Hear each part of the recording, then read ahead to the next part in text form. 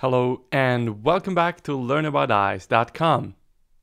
Last week I showed you how to place a corneal suture in the OR. Today I'm showing you how to remove a corneal suture at the slit lamp. So let's go.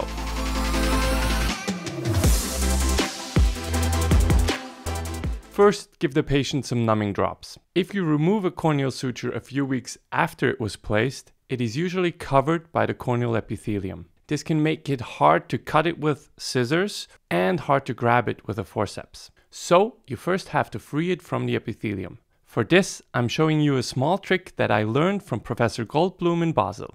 Take a small needle. I use a 30 gauge in this example. Put it on a syringe so you have a better grip. Make sure the bevel of the needle is facing up.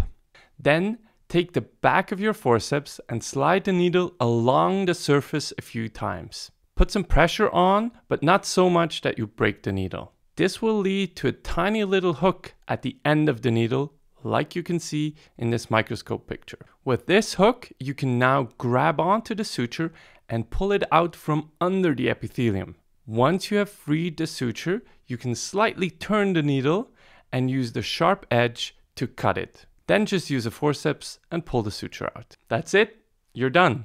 Just a quick note on doing this whole procedure in a sterile fashion. In the video, you saw my forceps lying on the table. Of course, for the patient, you want to keep the sterile packaging on the front part of the forceps and only expose the handle so you can scratch your needle. And that's it for this video. Thank you so much for watching. Like, subscribe, and most importantly, share it with your colleagues. This helps out the channel a lot helps me grow and helps me stay motivated to create more content like this for you. Comment down below what else you want to see in those videos and see you in the next one.